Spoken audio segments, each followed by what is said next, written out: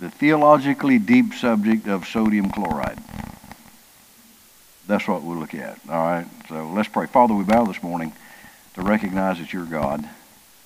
I find it amazing that you've never closed your eyes in sleep. You've never, and it doesn't take but just a few hours to wear us out. And I want to thank you for being a God of eternity, a God of power, authority, but a God of goodness. You use your power to do only that which is perfect and holy so we can trust you. And I ask you to bless those requests mentioned this morning. Be what is needed in every case. Be our health, our encouragement, be our strength, our direction, our wisdom. Thank you for what you'll do in Jesus' name. Amen. All right, Matthew chapter 5. As I'd mentioned, this is the, uh, the inaugural address of the Lord. He's been recently baptized by John the Baptist, and he's been introduced as the Messiah of the Old Testament. And there are over 300 prophecies in the Old Testament telling about Jesus. He was coming, where he was born, uh, exactly where Christ was born is prophesied in the book of Micah. Pretty amazing.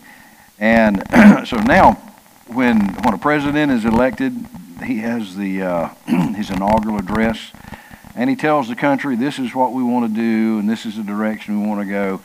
That's what we're talking about here in Matthew 5, 6, and 7. It is him. This is not a public address, by the way. This is a private discipleship meeting uh, in these three chapters. And so he said, look at verse number 1 now.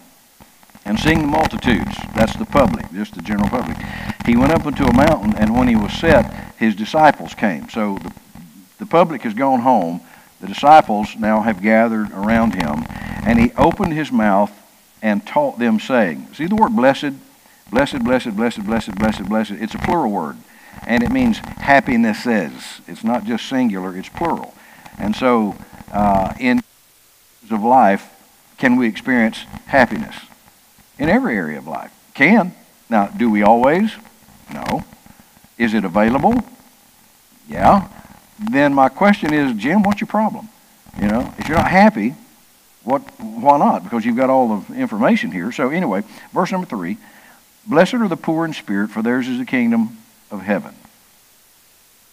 Poor. That doesn't sound like a real happy way to start things, does it?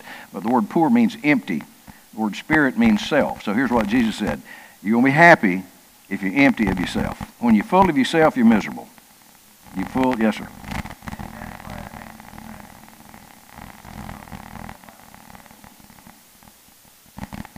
And that's why I think pastors need to break this stuff down so you can understand it because this was written, you're right, this was translated. Speak this way today. You know, I don't say to my wife, How art thou, my beloved? I love thee with all my bowels. I don't talk like that to my wife. And, and I'd do it one time. That's why that would be. you love me with all your what?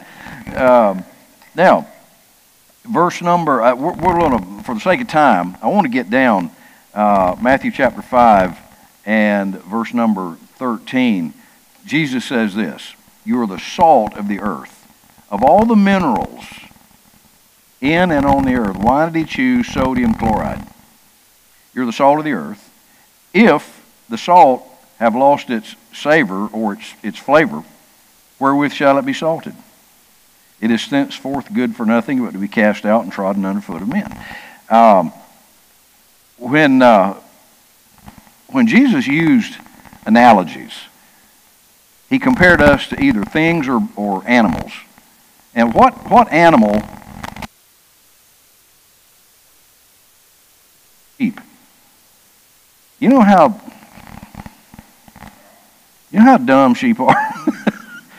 uh, and sometimes he uses other analogies, but the majority of it, we're sheep. We're followers. And uh, when, a, when a person gets saved, here's what happens.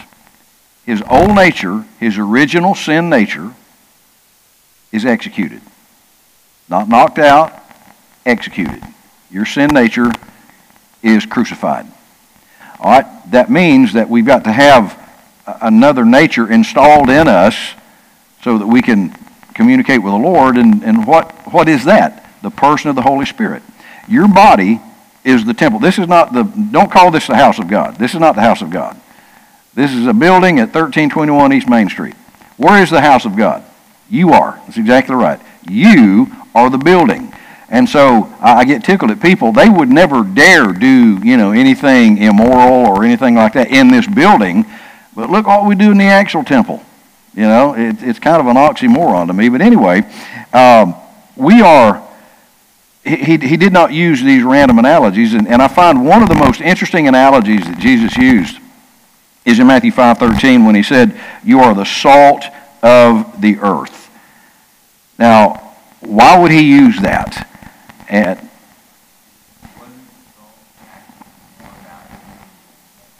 we'll get to that. Yes, absolutely. Um, this is not a compliment, okay? This is an assignment. When he looked at the disciples and said, You are the salt of the earth, he just gave them an assignment. This, in essence, is a commission. And about 4,700 years ago, there was published in China a document called the Ping Cao Can Mu. And that was, it was the earliest known treatise that we have record of about pharmacology.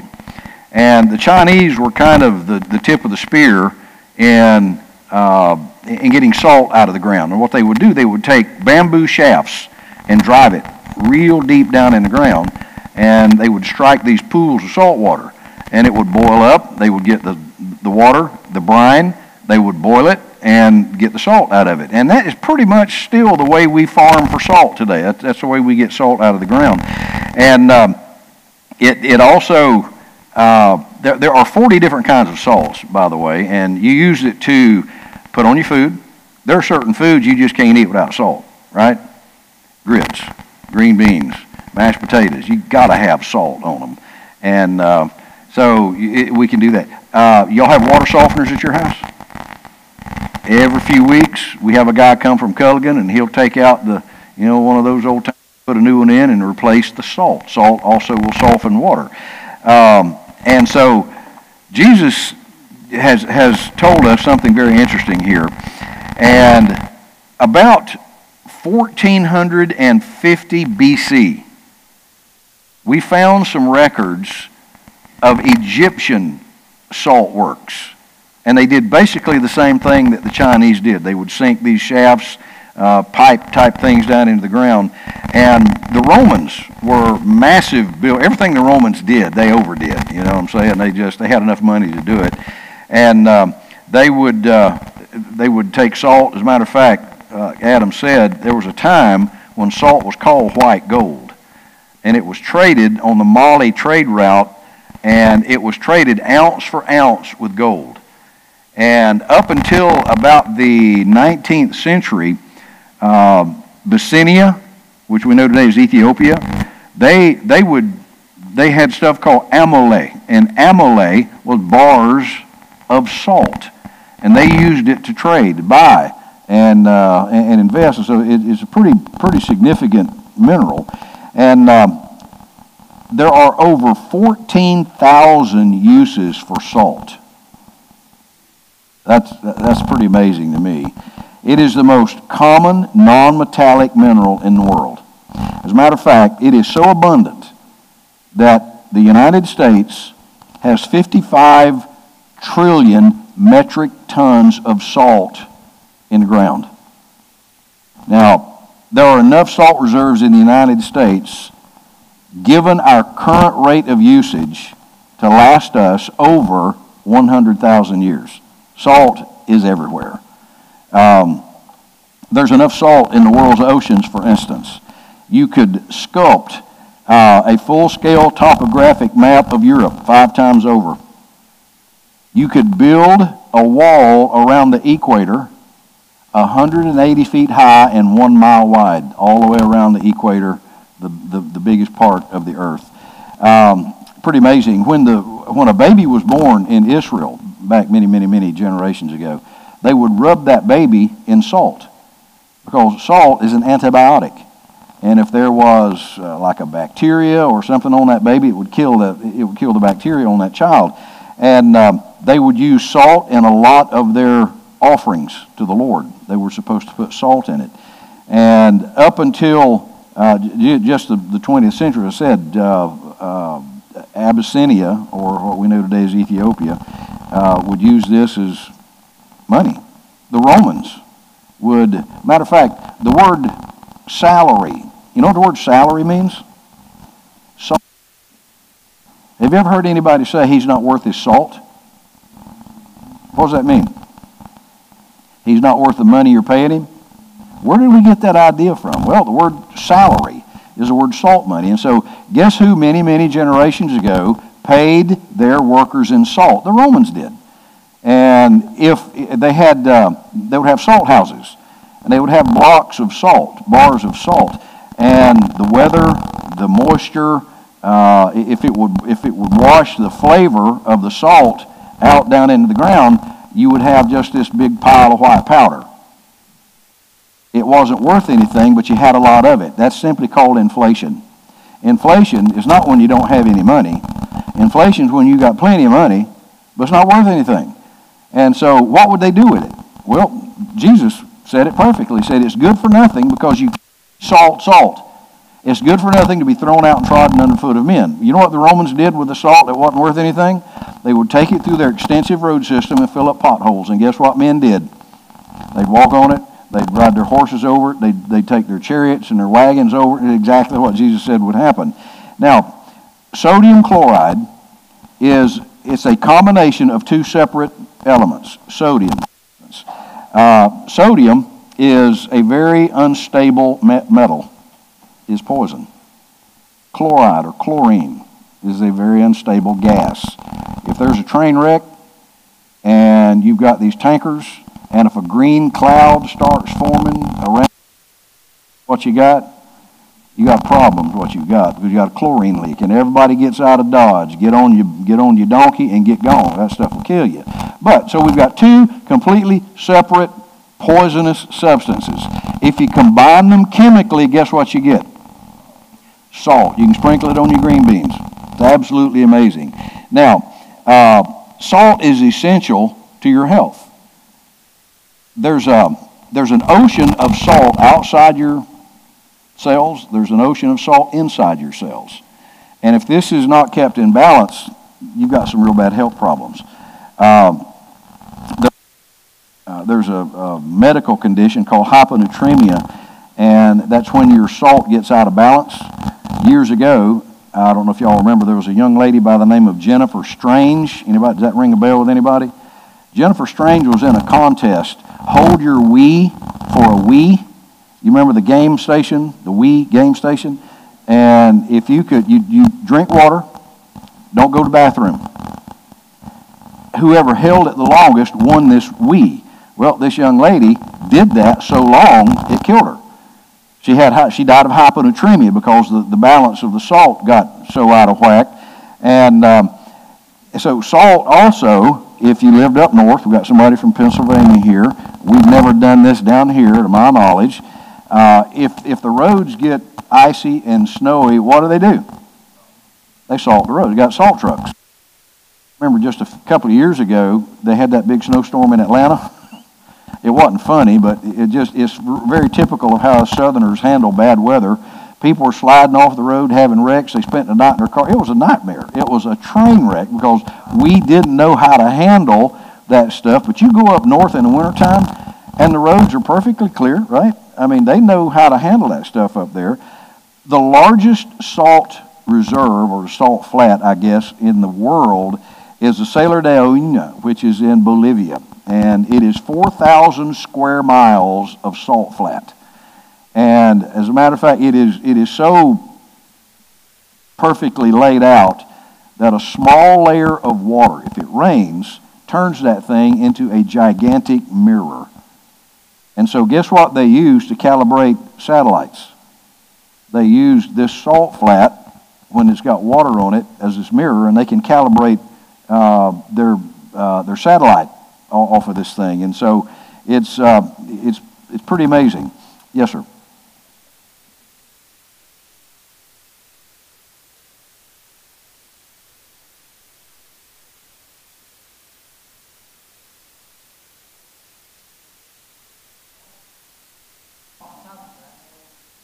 Butter and salt.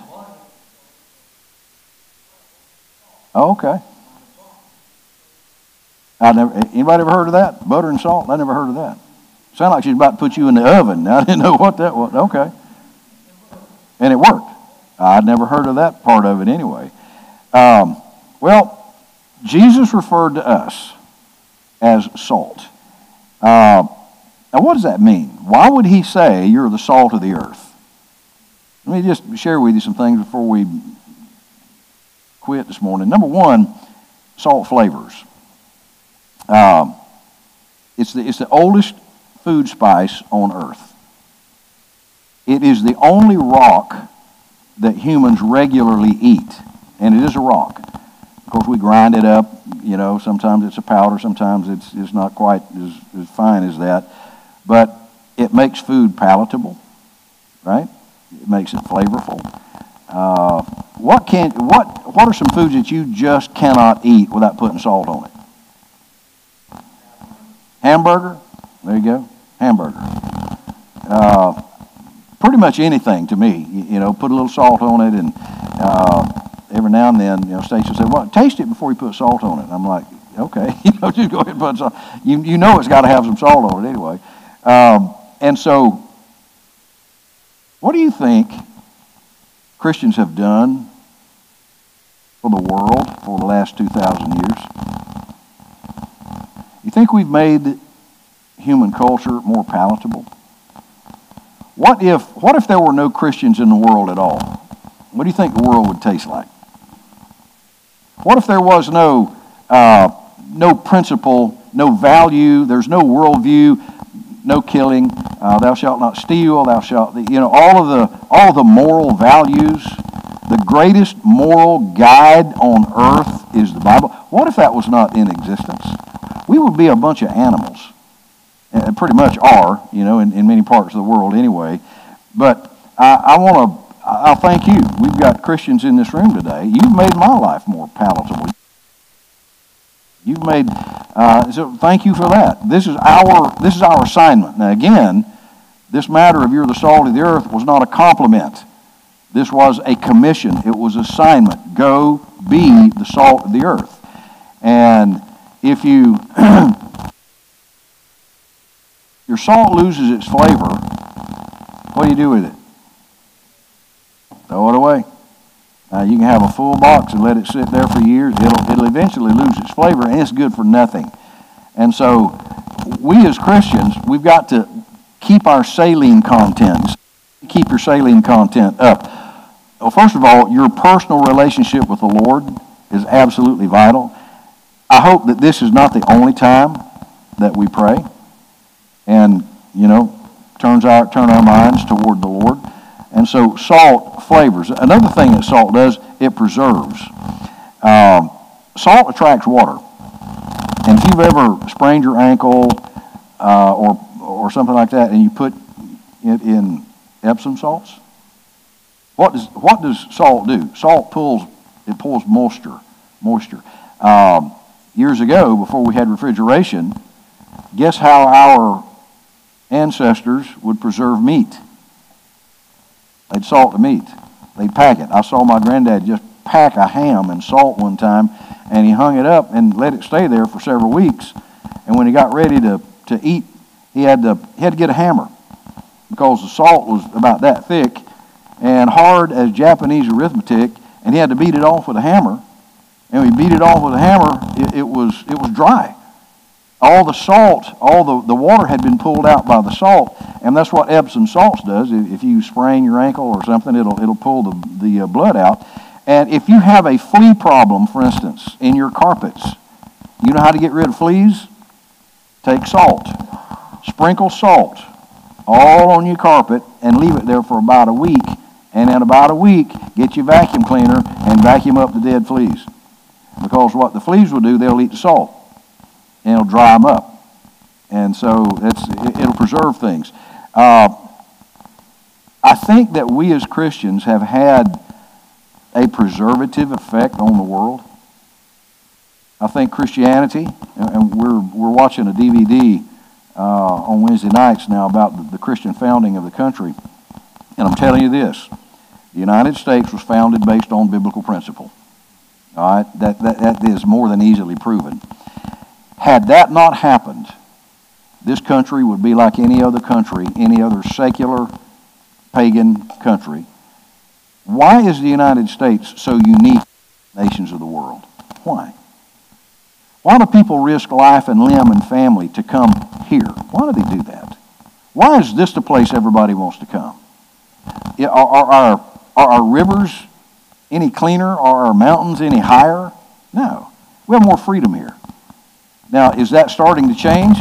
Yeah, that, that's been changing for a while.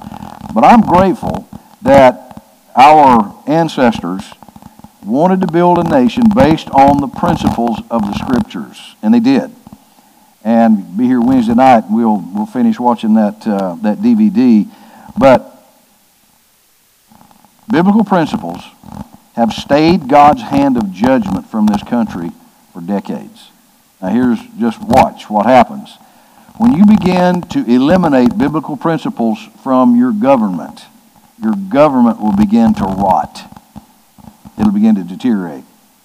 When you take biblical principles out of your schools, your school system will begin to rot. They'll start to teach stuff like, ah, you can choose your own gender. Really? I mean, that's as mindless as it gets. What about churches? Take biblical values out of churches. Just make it an entertainment center. Make it a theological nightclub. What happens? It will deteriorate. It will rot. It will fall apart.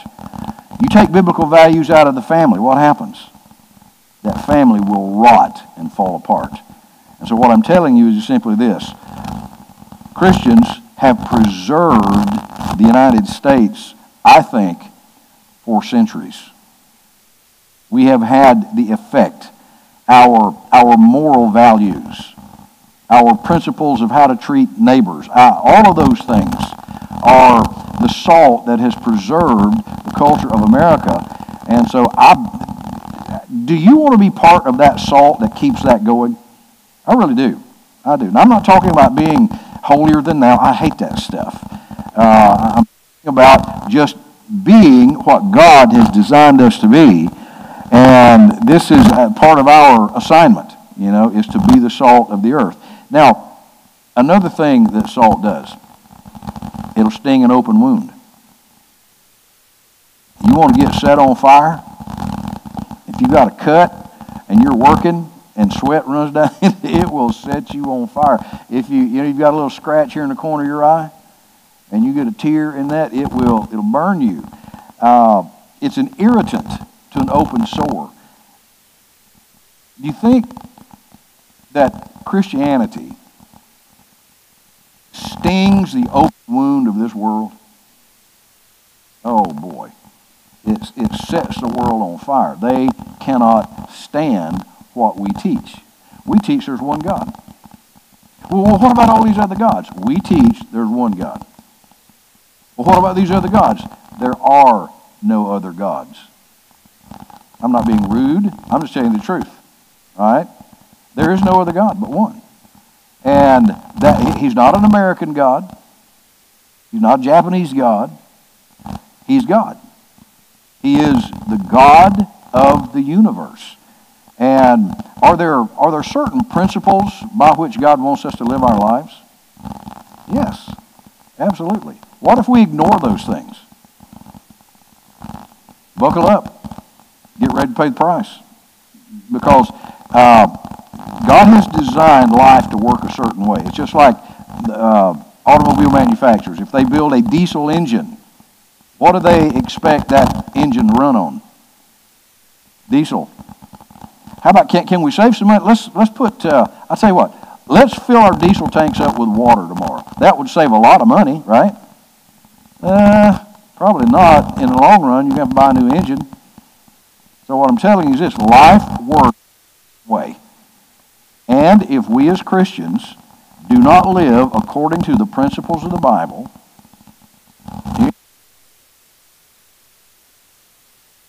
deteriorate to the point where it would be absolutely worthless. And I think we are the perfect example of what happens when a nation builds its foundation for existence on the Bible. In 450 AD, we're talking about a long time ago, there were two brothers that moved their, their people into the British Isles. Their names were Hengist and Horsa. These two guys moved into the British Isles and they brought with them a set of laws called People's Law. And People's Law was, it was an unwritten law. And, and, the, so why was it unwritten? Because they thought people had enough, uh, uh, had enough common sense. Don't kill anybody. Why would you need to write that down? Don't kill. Don't steal. I mean, everybody ought to know. Don't steal. You just don't do that. And it, that became a weakness of that part of the law, so eventually it was written down. But guess where our founders got a lot of the principles for the Constitution of the United States? Guess where they got a lot of that from? People's law. Exactly right. Because they discovered that, and for 180 years, we were looking for a way from, from uh, the, the founding of Jamestown to the Constitutional Convention, we were looking for a for what, what kind of government do we want? We don't want a king. We just got away from that mess in England. We don't want a, we don't want anything like that. And so we looked for 180 years to try to find a good form of government. And so they read men, Polybius, Cicero, uh, John Locke, all these guys that were brilliant, brilliant men in past days. And, and so they began to put these things together, and boom, we have a document based on the Bible. And I'm very thankful. I am very thankful that the beginning of this country was that and not socialism or communism. I'm so thankful that we have that kind of a, of a kickoff because we're still enjoying the freedoms of that today. And so salt preserves, it will, but it will sting an open wound. And so if you witness to somebody and they're involved in some kind of an immoral lifestyle, and if you happen to drop some of the salt of biblical truth, guess probably what's going to happen? They're not going to like that. Well, who do you think you are? Well, it's not who I think I am. It's, it's who God, you know, who God is and what He has said concerning the way life should be lived. Now, let's look at one more thing. Salt creates thirst. What are some foods that you can eat that will make you thirsty for days? What was It's what? Okay. Sunflower seeds. Mine is, is shrimp. If I eat shrimp, I'm thirsty for uh, stuff. Yeah, eat, I guess fish, you know, any kind of salt water uh, would, uh, would make you do that. But here's what happens salt dries up water. In your body, you eat a lot of salt, it dries up the water, and you need to replenish the water. So you're going to drink a lot of water. It pulls water out of the cells, and it's, it's, there's an old expression that we, you've heard it probably a thousand times. You can drive a horse to water, but you can't make him drink. Yes, you can. Feed him salt. You don't have to make him drink, you have to make him thirsty. And so if, if you've got horses, uh, and we had horses up in Kissimmee years ago, and we'd put salt blocks out in the, in the pasture, and boy, they'd run to it. They need mineral. And they'd lick and lick and lick and lick and lick and lick and lick and lick, lick, lick, lick, lick, lick. And after they had all they wanted, they'd throw the head up, and it sounded like they were breathing, you know, blowing, but they were smelling. Guess what they were trying to find? Water. Guess what we provided right up by the fence? Water. And here they come, boogity, boogity, boogity, boogity, boogity. They run up there and drink and drink and drink and drink and drink. So, you know, the deal is, I didn't have to make them drink. All I had to do was make them thirsty. Now, here's a question. You don't, you don't have to force people to get saved. Okay? We can't do that. Uh, I pastor a church here. I can't make anybody walk this aisle and get saved. What can we do? Make them thirsty. Make them thirsty. So how do you how do you make somebody thirsty? Here's a way you make somebody thirsty be the salt. Just be salt. So how do you be salt?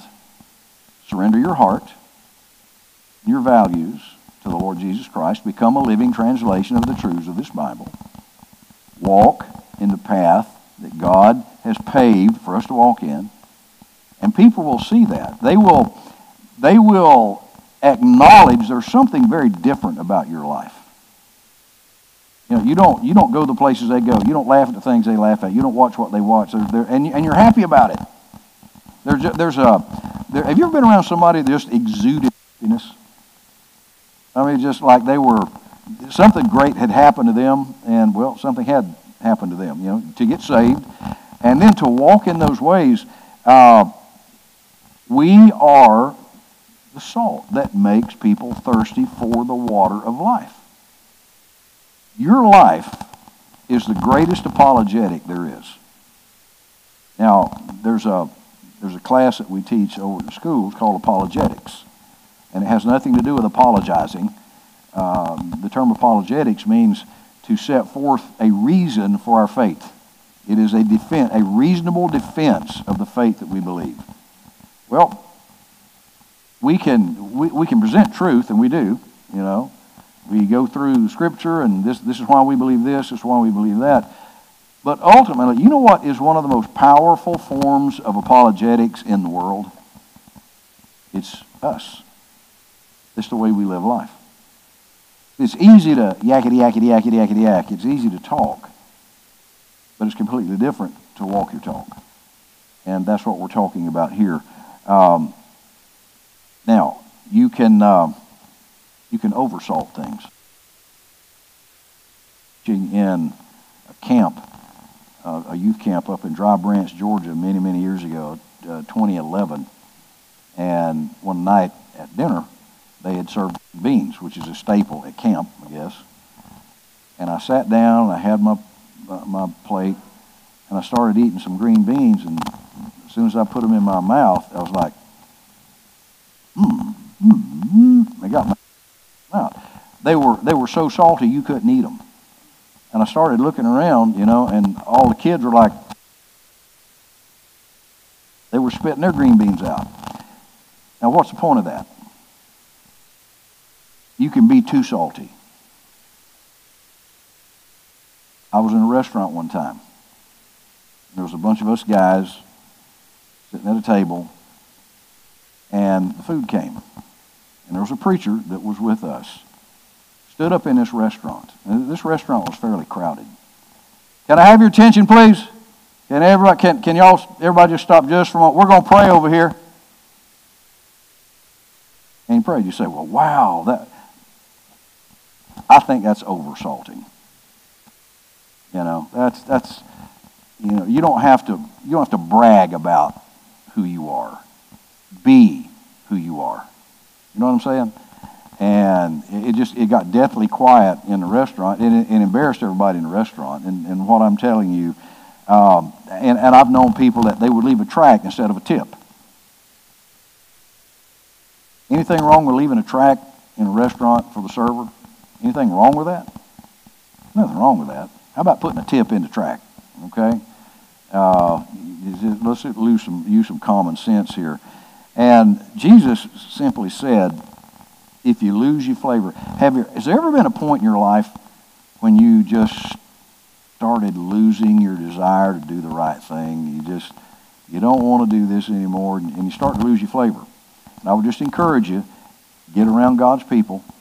This should be the resalting place of your life, where, where the Lord is allowed access to everything in our lives. And when we lose our ability to influence and impact and create thirst in our culture, we cease to be effective.